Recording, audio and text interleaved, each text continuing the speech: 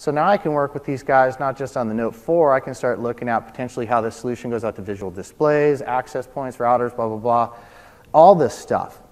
LED lighting, I mean, it's amazing. You see the product portfolio, all this stuff that we can start to combine together. So then you add in 360, Samsung 360 services.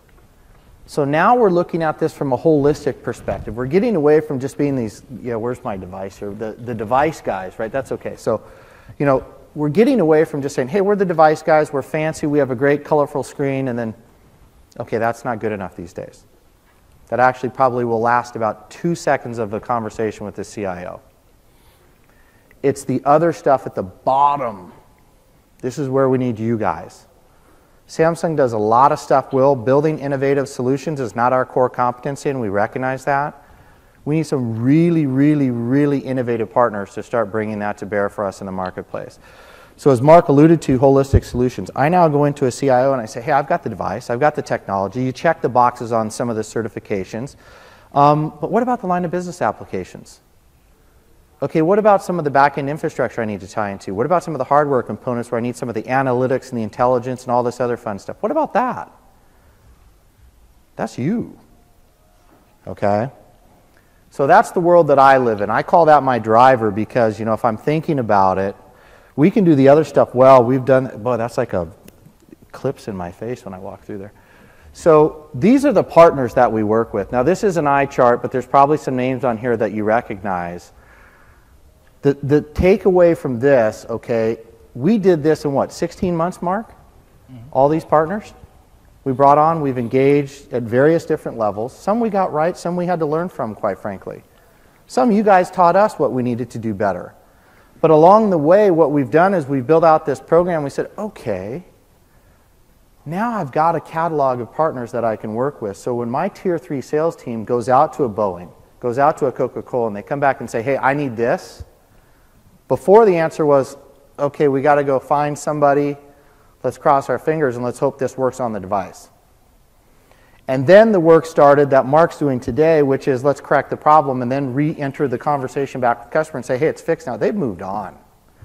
So now we do the front end work, right? So now if somebody comes to me and says, hey, I need XYZ solution, I can go to Marc and say, hey, Marc, we've got a customer who wants this today. Can you tell me who we can utilize? Boom, we bring you into the conversation with us. That's kind of how these things are starting to proliferate with the, the engagements that we have with our enterprise customers, okay? So the other thing to take away from this is, is, is the following. We look at partners in a, in a number of different categories. Are you an emerging innovative solution provider? You can have three people who works for you. That's fine. You might fill a gap in a partner category that we don't have a lot of uh, partners currently in. You might be in an emerging space where we need to talk to some folks who are, quite frankly, a little bit more nimble and innovative. There's other partners that we look at and say, okay, that's a strategic partner because they scale kind of to the global size of Samsung. There's other partners where we're like, hey, this is a transactional relationship, we get it. We're going to make some investments, we're going to put some resources in it, but it's not truly strategic because it's kind of a little bit commoditized, maybe. So we look at these things in a different fashion. So please don't take away from this that you have to be some big brand box name in order to do some work with Marc's team or my team, okay? So let's get to this. And it's funny, I, I uh, there's some folks in the room who were part of this last week, but I spent about two and a half days last week here in San Francisco working with a partner of ours um, on building out kind of the framework we're talking about of once you build out the partnership and the solution, what do we do then? Okay? We spent about 10% of our time here talking over two and a half days. I know some of you right now are like, what? He's crazy. That's where all your time should be spent. How do you measure the success? No. 20% was on go to market. Okay? And I'll show you some of the, the next slide will kind of show you some of the discussion points that we get into to kind of figure out the right formula. And it differs for every single partner we have. Okay? This is where we spend all the time. Why are we doing this? What are we doing? And if I can't go out to an enterprise customer and answer this, why do you want to buy this? Why are you going to open up your wallet or purse and buy this from Samsung and the partner? If I can't answer that question, what are we doing? Okay? if I do this right, if we answer the why, I can take that through all the way to success. That becomes so obvious I barely have to talk about it. Okay? And again, we spent two and a half days with this partner, and they're a big partner, and we kind of had to narrow down and, and, answer the why. And we got to some really cool stuff um, in terms of what we're going to do going forward. So, again, this is kind of the framework that I like my team to walk through with our partners. So if you kind of want to come to us and say, we want to be part of Samsung, we want to take something from code to customer, you're, you're going to be kind of go through this process right here. So there's the sauce. This is, now this is an eye chart, right? Let's kind of, I almost didn't throw this slide up, but these are some of the questions off to the right. What priority level does this have? Do we have an immediate customer need that needs this right now? Yes, that's a one. Okay, we're on it. I'm putting some resources in front of you and we're going to get the job done because there's a sale waiting to happen. What kind of channels do we use? Okay, Samsung has a lot of sales channels, you guys. We have the carriers, we have distributors, we have resellers, we have this, we have that, we have Best Buy. It's all over the place. What is the, rest, the right one to utilize to hit the target customer that we want to attract? Who is a target customer? Right? Who are we going after here? What's the measurements? What's the KPIs? What are some of the things that I talk to you and say, okay, this is a value to me. This is where it's going to get a win for me. What's your win out of the deal? This isn't a two, this is a two-way interaction here. I want to clearly understand what you're getting out of this partnership. Because my guys then need to make sure that they're driving that on a daily and consistent basis with your teams so that we get to the end of a result that's meaningful. Otherwise, i am just going to say it, we're having a science fair. We're trying to build something that's not going anywhere, and that's a waste of everybody's time. Okay? But these are kind of this is kind of the framework that we walk through when we're trying to determine the why that eventually leads us to this go-to-market model. So let me let's let's talk about a, a company that Marc and I worked with. Okay, Click Software. These guys took uh, the Salesforce One platform and took our Gear 2, and they took what was a traditional application called Shift Expert, extended out to a wearable device. And you can see it's just got kind of four quadrants on the right. So you give this to your worker, he walks into a manufacturing plant and he doesn't have to walk clear over to the side and check in. He's up, oh, check in, up, oh, going to lunch, up, oh, back from lunch, up, done for the day. That's pretty compelling. Because if you think about it, if I walk in and I forget to check in because I'm running a little late, then I'm sitting there saying, wait a minute, no, I showed up at 8 o'clock. Yeah, but your punch card said 8.30. I know, but I was here at 8. This, I got 10 people to validate it. I now have a payroll issue that takes time and money and effort. That payroll issue just paid for that device easy, that one time. Now factor that in over 12 months, 24 months, so forth and so on. I like this one here. It sends alerts to the phone. As if Mr. Andy James here, he forgot to clock in in the middle here, and he, he's getting alert on his, his wearable saying, hey, you got you got to clock in, or you're to lose out on your shift. And then finally, you can kind of utilize the device to track the number of hours that, you, that you've uh, put forth for a given week, so forth and so on. You guys understand the concept. Marc did an S, his team did an SDK workshop with these guys. They used their labs out of Israel in less than 30 days, pump this out. So they literally build this out in 30 days and have a commercially viable product in market ready to offer to every single one of their customers in 30 days. That's incredible. By the way, Marc gets to work with all these fun projects. He calls me like once a week and says, "Do you got to check this out? This is pretty cool." So he gets the, he gets the front end of the business. But so here, here, here's the conclusion, right? Here's the big whammy before you guys walk out of the room. There's, there's three things to focus on. It's so simple, it's unbelievable. We're dead serious about B2B. I don't care what you guys read in the press, what you read in the paper, or anything. We've tripled the size of my team in the last 12 months. Marc, your team has grown exponentially. I don't even know how much. Nick, your team as well. Globally, we've doubled the size of our B2B force, okay, which is substantial uh, over a very short period of time. Um, we need partners like you guys. If I go to the U, we, we absolutely need you. If you take away anything, we want you, we need you, we need that community with you, we need the interaction, we need the connectivity. Very simple. Okay? The joint opportunity, though, is where it's key. If we put us combined with you guys, the, the, the force we're finding as we walk into an enterprise customer together and deliver a joint solution has tremendous power. Okay? I go in as a silo, hey, I'm Samsung, we're doing all this, nice to meet you, I leave. You guys come in there, hey, I'm such and such, da, da, da. Hey, what are you doing on Samsung? I don't know, I don't talk to them. Or, hey, check this out. It's working, we've tested, it's validated. Kick the tires, let us know how it works out. Boom. Much better story, okay? That's what we want you guys to recognize. Marc's available, I'm available. Uh, we've grown out, you know, kind of the storyline for you. It sounds like we've got some friendlies in the room, a number of folks who've worked with Marc in the past and are currently working with him. Um, feel free to reach out to us and, and let's open up the floor. If you guys have any questions, comments, advice, we like to learn. Let's open the floor. Anything? Don't be shy. Yes, sir. should talk to do a little bit of work with you guys?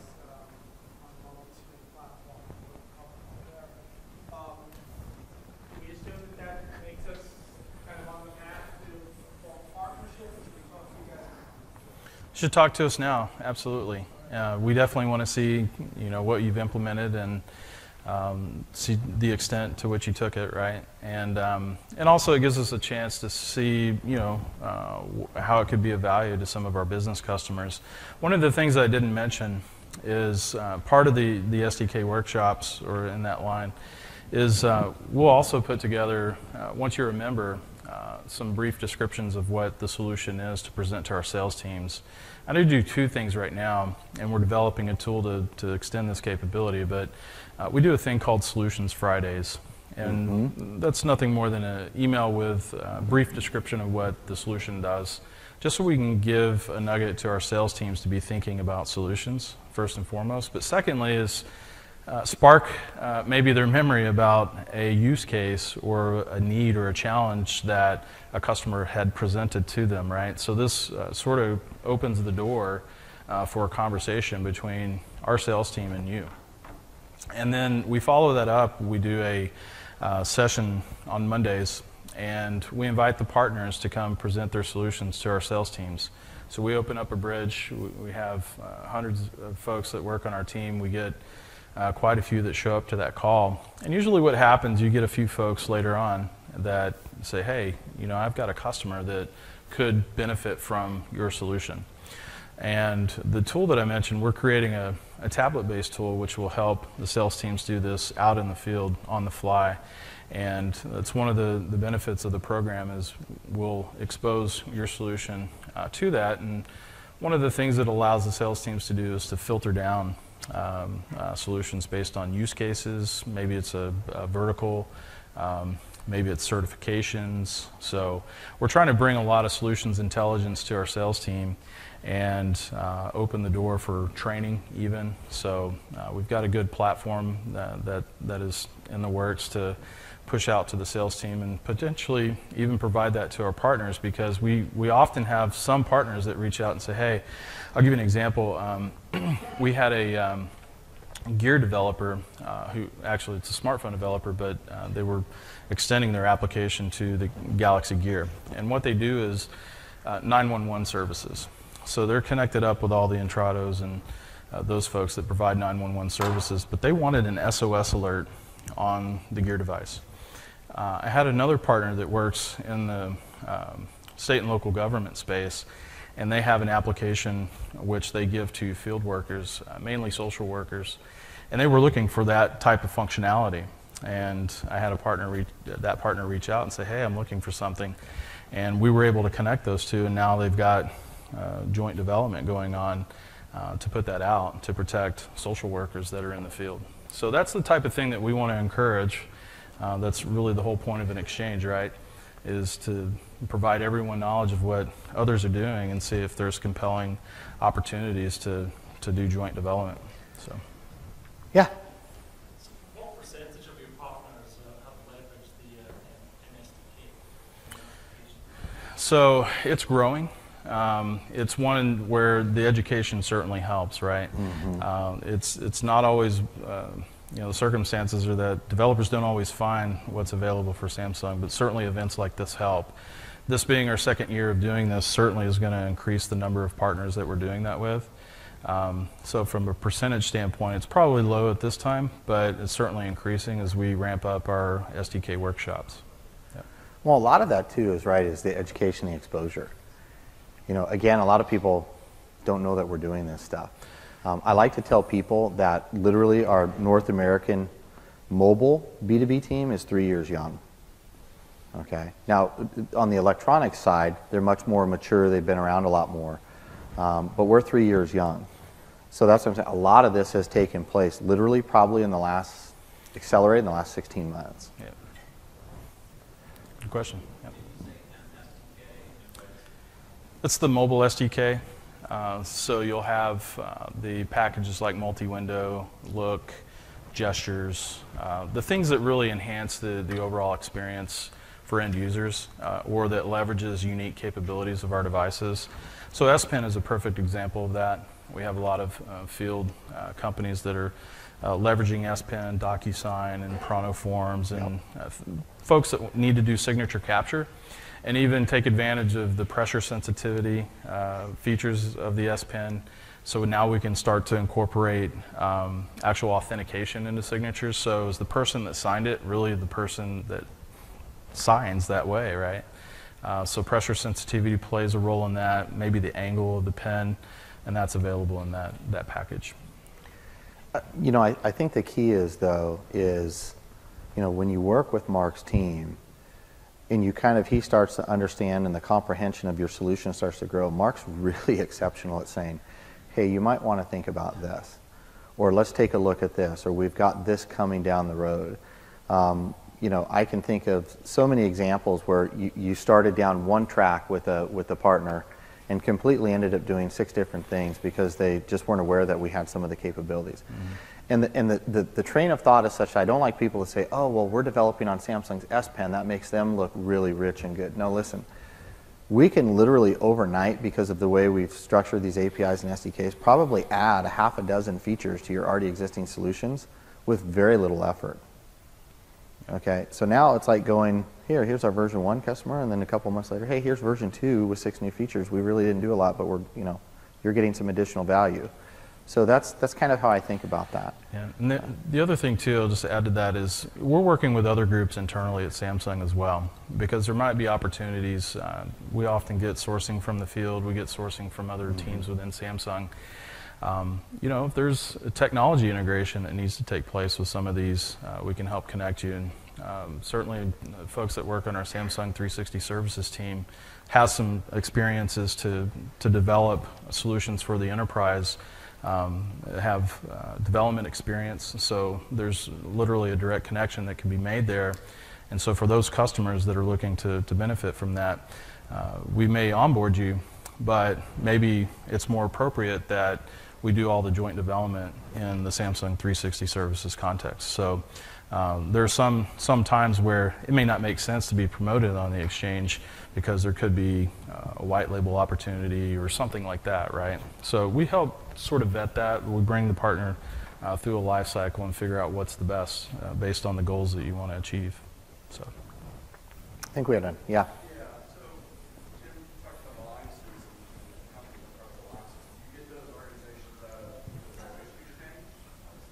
It's, it's a combination, right? So a lot of times Marc and his team will say, hey, look, here's kind of the, of a particular vertical, right? Who do we need within this vertical for whatever reason?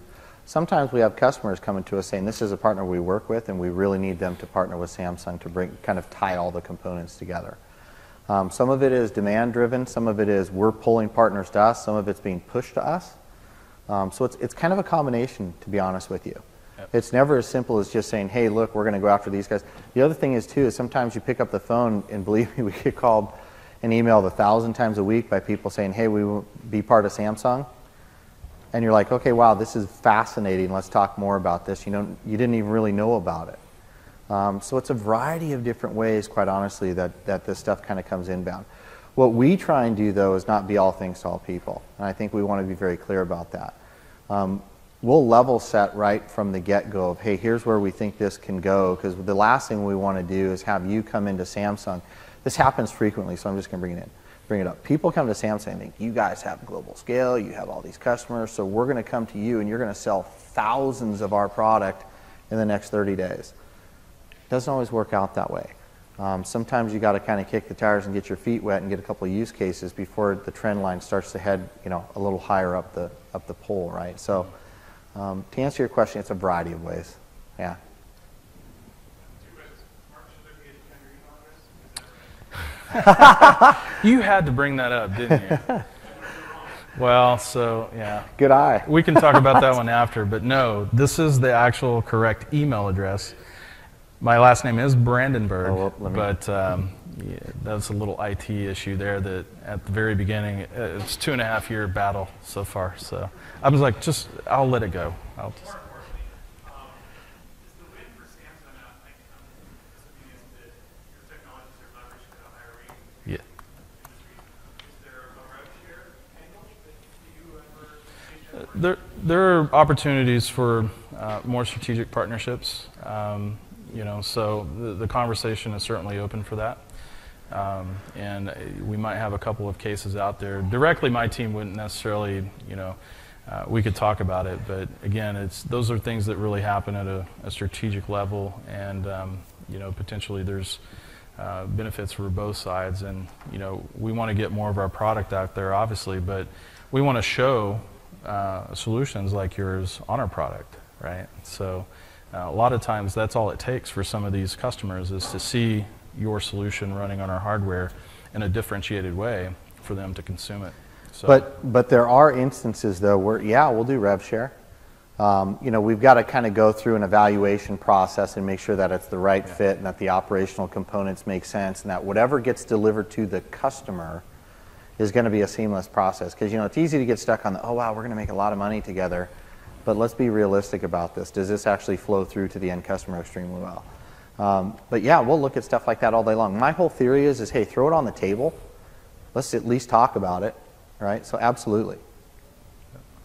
Anything else? so we have a couple minutes. Any any other questions?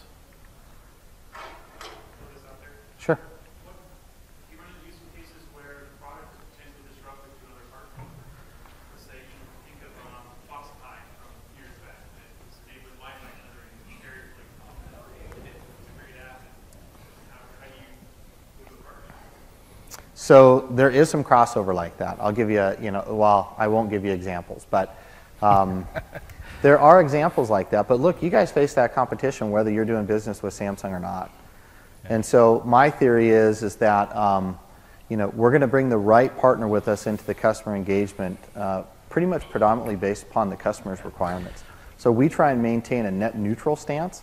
Um, sometimes your technology speaks very well for you, and so that kind of bears out when we're in front engaging a customer jointly. Um, other times, though, you know, a customer might say, "Hey, bring two or three in. Let Well, us trial out and, and see who's the best."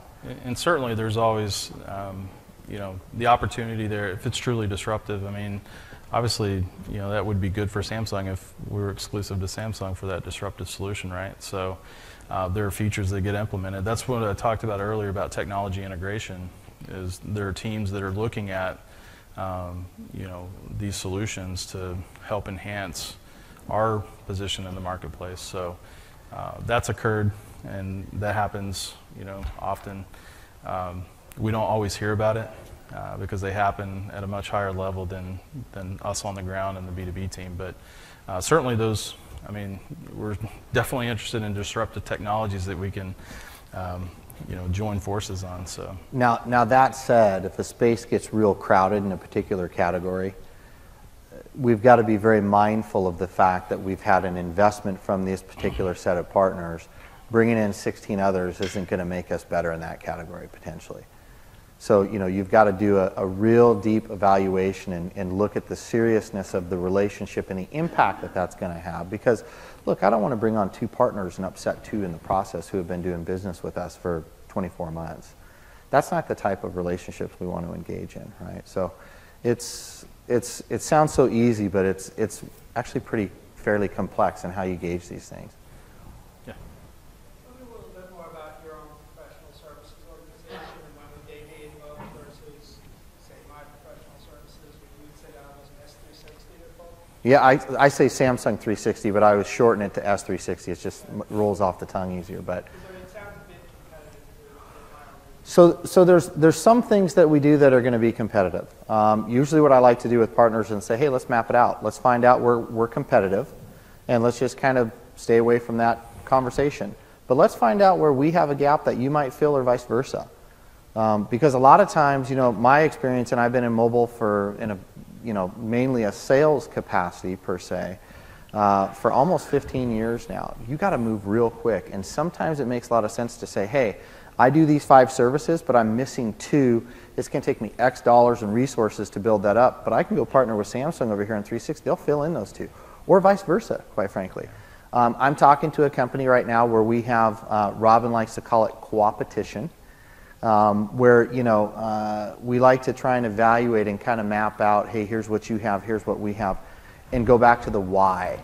Does this make sense for us to partner? Because maybe we do compete a little bit too directly. Let's be cordial and part ways. If we do have areas where we find that there's some strength in the partnership let's focus the core of the conversation on that. Right? And it's funny because you know it's it, it's interesting you bring that up because you know there's a lot of people who are kind of getting into the services space right now because to a certain extent it's fragmented.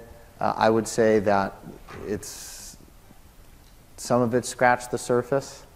So, um, there's a lot of greenfield there, and I'll, I, I will say this: what Robin Bienfait and her team are building out is is going to be pretty compelling. We need partners to get us there, though. You know, some of it we're standing up on our own. Some of it we absolutely need partners to help get us there without question. Is that what you were looking for? Yeah, just, fourteen thousand dollars for twenty years in business, so I wanted to find out if I'm before I go Yeah. ask for a partner. Yeah, come talk to me afterwards. Yeah, absolutely. We'll, we'll chit chat a little bit. Anything else? Well, thank you for coming. Uh, you know, there's a lot of activity after this. Yeah, awesome. Great questions, guys. They Thank were you clapping for you, Mr. Brandenburg. What's that? They're clapping for you. Oh, sh- Thank you. I appreciate your uh, attendance and time today. Thank you.